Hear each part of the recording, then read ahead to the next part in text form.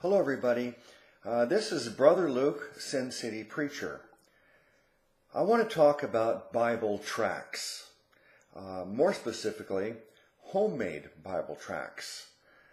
I hope that uh, some of you watching this video are busily passing out Bible tracts so people can learn uh, this good news about salvation through faith in Jesus Christ.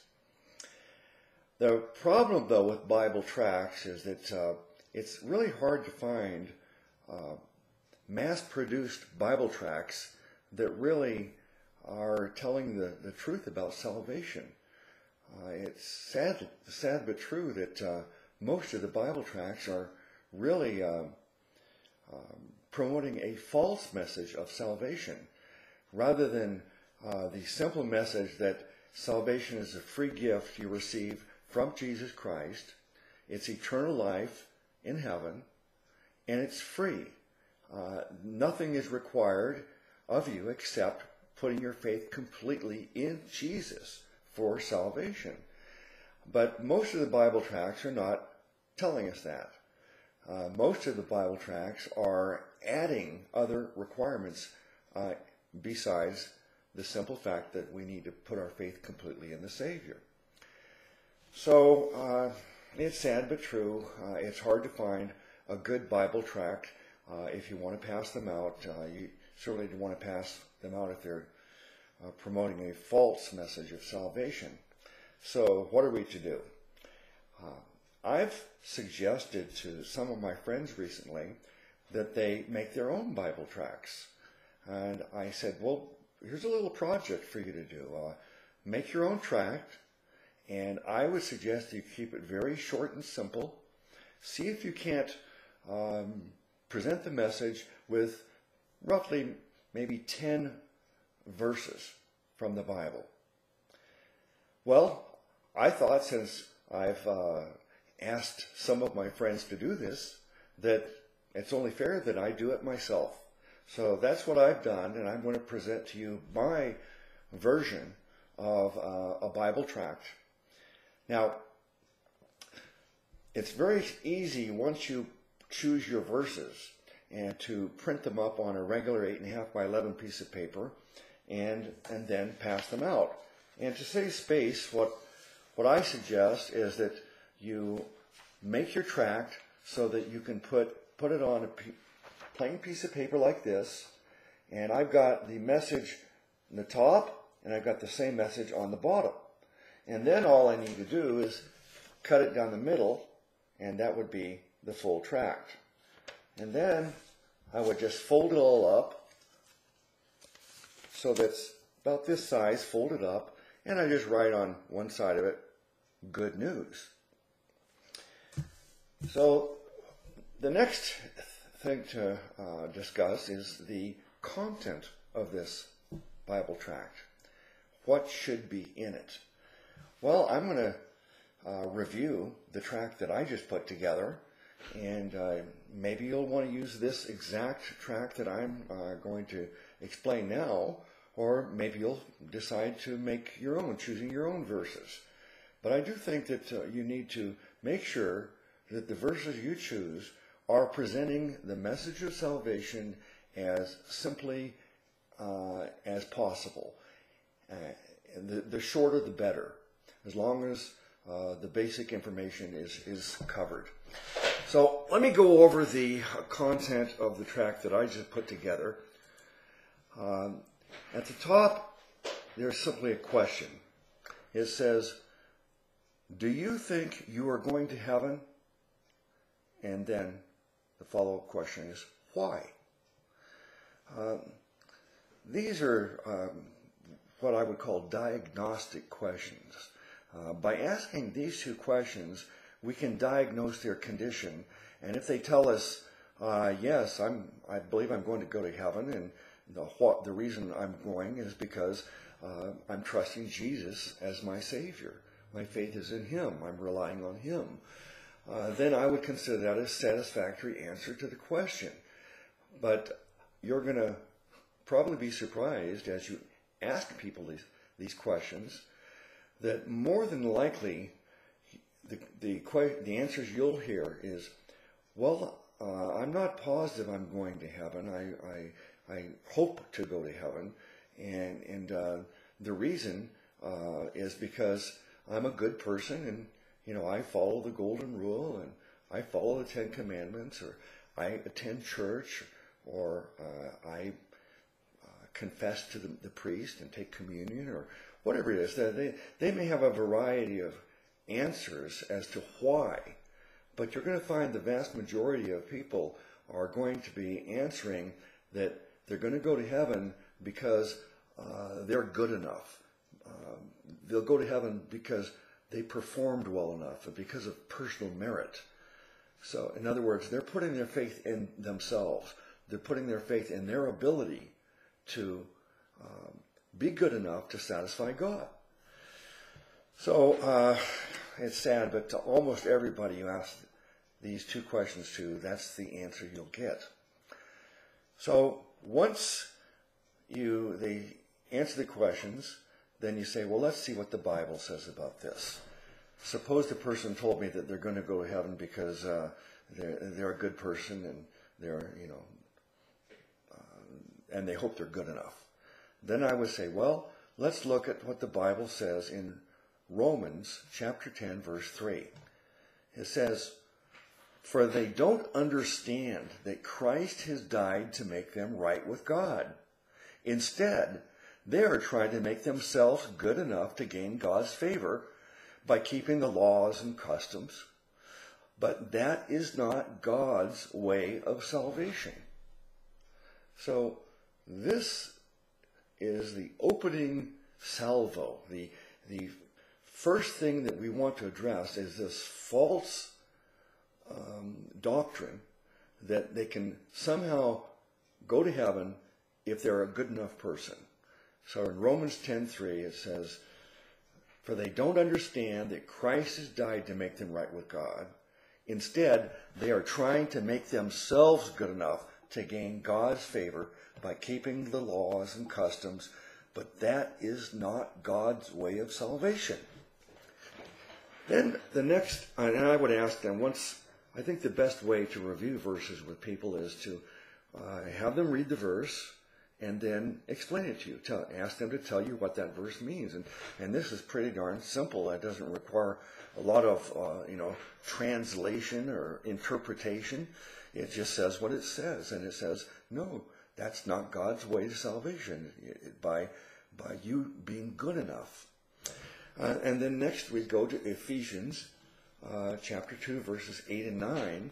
It says, For it is by grace you have been saved through faith. And this is not from yourselves. It is the gift of God, not by works, so that no one can boast. And again, I would ask the person, could you explain the meaning of that verse? Uh, they, uh, the important things in this verse is to understand what grace is, and that is that for it is by grace you've been saved. That means that God is gracious. God is giving us something, salvation, uh, even though we don't deserve it. Uh, so it's only because God is gracious that we can be saved.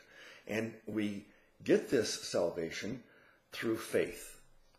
Uh, our faith is what uh, is the means by which we receive salvation. Now, it says that uh, salvation, this is not from yourselves. That means salvation is not from yourselves. It's not based upon you. It's based upon God's graciousness and your faith in Him. Uh, it says, it is the gift of God. So it's an important thing to understand that, that uh, salvation is a gift. Uh, a gift is something that's uh, given to someone freely.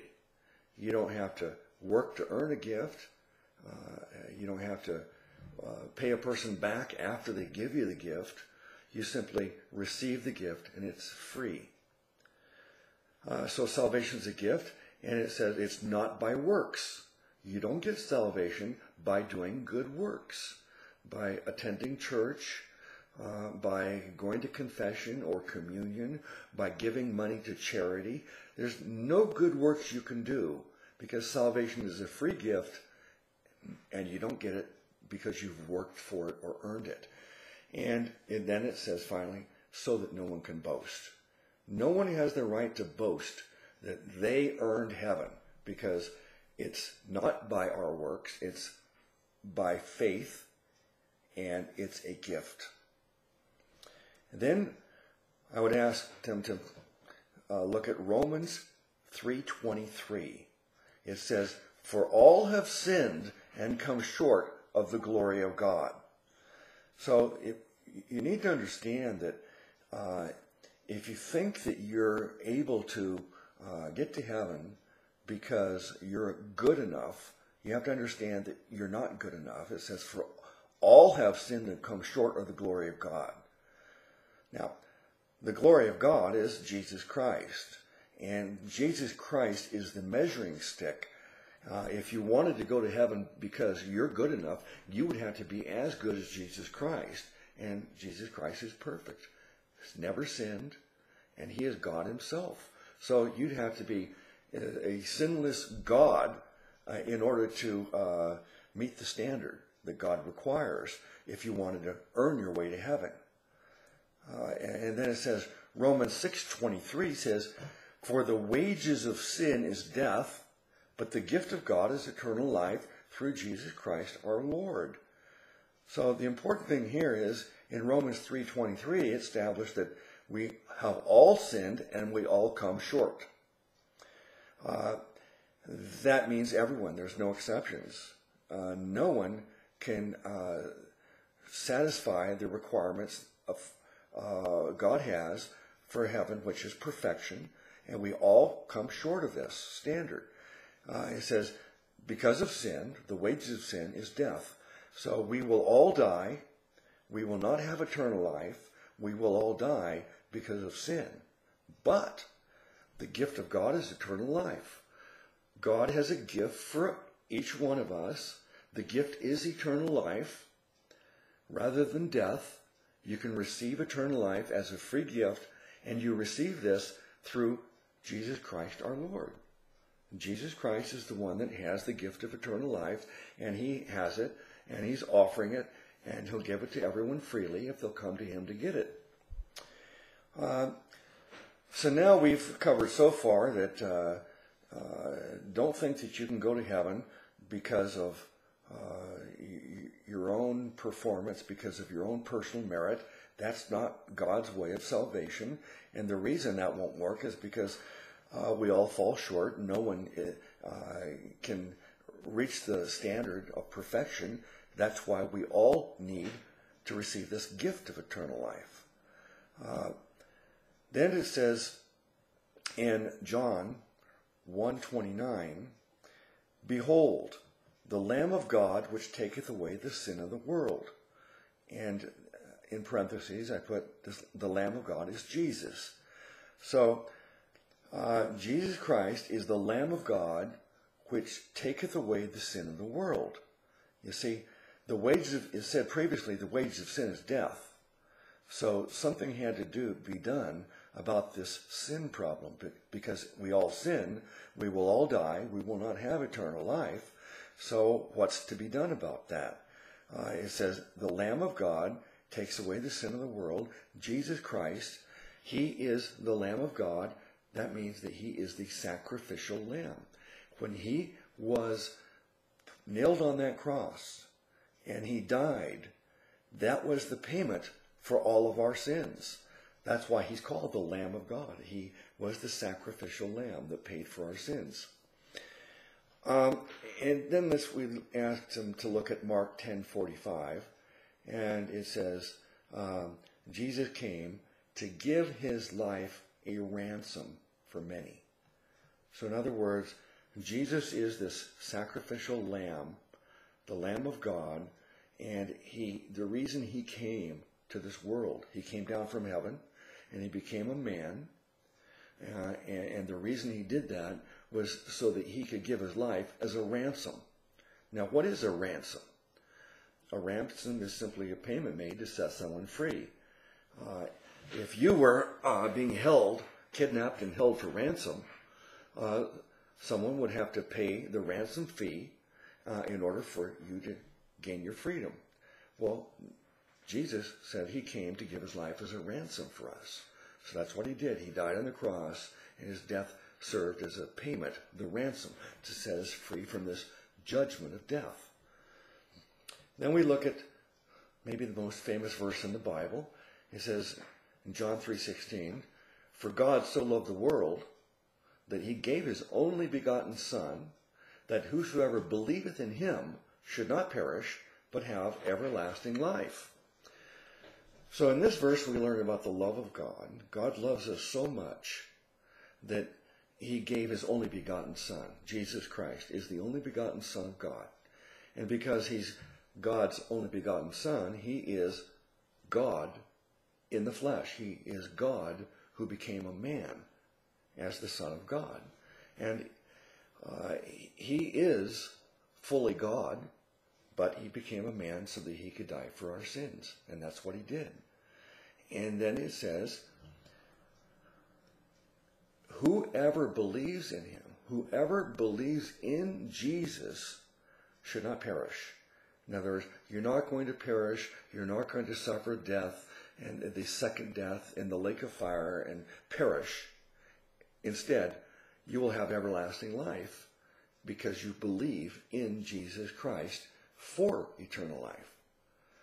So, in John 3:16 we learn that God loves us so much that he sent his son Jesus Christ who is God um, who became a man. He's he sent his son so he could die for our sins, and therefore we don't have to perish. Instead, we can have life everlasting because we put our faith in Jesus Christ. Uh, next, we look at John 14, 6. And it says, Jesus saith unto him, I am the way, the truth, and the life. No man cometh unto the Father but by me. Here we learn three important facts about Jesus Christ and also the fact that he is the exclusive way to have eternal life. Uh, Jesus saith unto him, I am the way. Jesus Christ is the only way to have eternal life. Uh, you, you don't receive eternal life through Muhammad or Buddha uh, or the Pope or the Virgin Mary and you certainly don't receive eternal life through your own merit. No, Jesus said he is the way. He's the way to receive eternal life. When you put your faith in him, you receive the gift of eternal life. Jesus says that he is the truth. He is the truth that you must believe. The one thing that you've got to get right in this life. You can be wrong about everything in your life, but there's one thing you must get right. The truth is that Jesus Christ is the way to receive eternal life, the only way. Uh, he says, I am the way, the truth, and the life. He is the way to receive life everlasting. And he says, No man cometh unto the Father but by me. That means that Jesus is the exclusive way. So you have to reject all other ways and, and uh, also reject the, uh, yourself as a way. Uh, understand that you cannot put your faith in yourself. Instead, put your faith in Jesus, who is the only way to receive eternal life. And that's the truth you must understand and believe. And then we look at Acts 16, verses 13, 30 and 31. The question is asked, Sir, what must I do to be saved? And they said, Believe on the Lord Jesus Christ, and thou shalt be saved. Here is the, uh, the big question that uh, everybody needs to answer, and you need to answer this one question correctly, and that is, What must I do to be saved? Saved means uh, there's uh, some dire consequences that you're in your future, and you need to be saved from it. The the the the fate that you need to be saved from is the fact that because of sin you'll die, uh, uh, you'll be found guilty at the judgment, and and you will be uh, put into the lake of fire where you suffer the second death and you perish. This is what needs to be avoided. This is what you need to be saved from. So, what must I do to be saved? Well, the answer is very simple. Uh, you don't need uh, a, an entire book to be written about it. Uh, you don't need, uh, you know, a thesis. You don't need even a long explanation. You simply need a one sentence statement, and that is, believe on the Lord Jesus Christ, and thou shalt be saved. Believe on the Lord Jesus Christ. That means you depend on Jesus for your salvation. You rely completely on Jesus and no other way. You reject any other way, and instead, you're depending completely on Jesus. No one else, nothing else except Jesus. Then we look at uh, John 11, verses 25 and 26. Jesus saith unto her, I am the resurrection and the life. He that believeth in me, though he were dead, yet shall he live. And whosoever liveth and believeth in me shall never die. Believest thou this? So here we have Jesus stating that he is the resurrection and the life.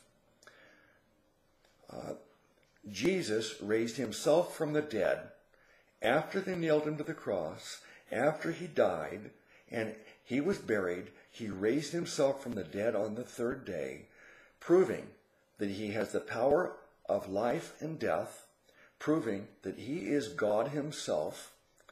And he not only raised himself from the dead, but he will raise you from the dead and give you life everlasting if you put your faith in him. He says, I am the resurrection and the life. He will raise you and give you life everlasting. He says, He that believeth in me, do you believe in Jesus? Do you believe in his ability to give you life everlasting? Do you believe in his faithfulness to keep this promise that he will give you eternal life? He that believeth in me, though he were dead, yet shall he live. Even after you die, Jesus says you will live again. He will resurrect you and give you eternal life if you simply put your faith in him. He says, Whosoever liveth and believeth in him shall never die. Then he asks the question, Believest thou this? This is the question Jesus asks. And, and this is the question you must answer if you want to have eternal life. Do you believe that Jesus is the resurrection and the life? That Jesus has the power to raise you from the dead and give you eternal life? Do you believe that? If you do, then he will keep his promise to you. Then we look at John 10 28. It says, And I give unto them eternal life, and they shall never perish, neither shall any man pluck them out of my hand. Such wonderful promises here from Jesus Christ. Jesus says, I give unto them eternal life. When you put your faith in Jesus, when you believe on the Lord Jesus Christ, when you answer his question, believest thou this, that he is the resurrection and the life, he gives you eternal life if you put your faith in him. And he says, You shall never perish. You'll never die again. You'll never suffer uh, the second death in the lake of fire. No, you have eternal life and you will never perish. This is a promise from Jesus Christ. And he then he finally he says the the most important promise of all, neither shall any man pluck them out of my hand. In other words, Jesus says he has you in the palm of his hand, and no one can pluck you out.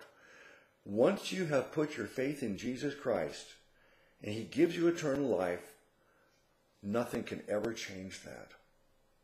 Isn't that wonderful? This is what we call eternal security.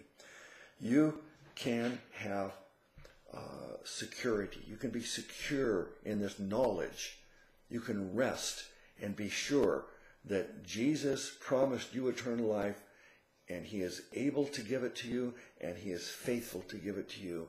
It's a promise from the Son of God. So rest assured that you will never lose your salvation since you put your faith in the Savior Jesus Christ. So these are the verses I chose. I believe if a person simply reads this, uh, they will probably understand it without any explanation. Uh, it, it, covers who Jesus is, the Son of God, this, the sole source of eternal life, this, the Savior, the only Savior. It tells, it tells us what He did. He died for our sins, and He's raised from the dead. Uh, it tells us how to be saved, and it tells us that we will never lose our salvation. So, uh, this is a tract that tells you the true message of our salvation. Now, if you want to make your own tract and you want to come up with some other scripture that uh, covers these same points, then uh, that would be fine too. Feel free to use uh, the the tract as I've composed it here, if you like. So you can you can print them up, then you just cut it in half and fold them up, and you pass them out to your friends and family or anybody who will receive it. I think uh, I don't know how much it, actually will cost to make one copy, but uh, you get uh, two tracts on each eight and a half by eleven piece of paper, so it'll be very very inexpensive to do this. And instead of getting tracts from uh, you know companies that mass produce them and are printing and promoting a false message of salvation, a message that you get saved by repenting of your sins or or surrendering your life or or uh, you know picking up your cross and following Jesus, becoming a servant of Jesus.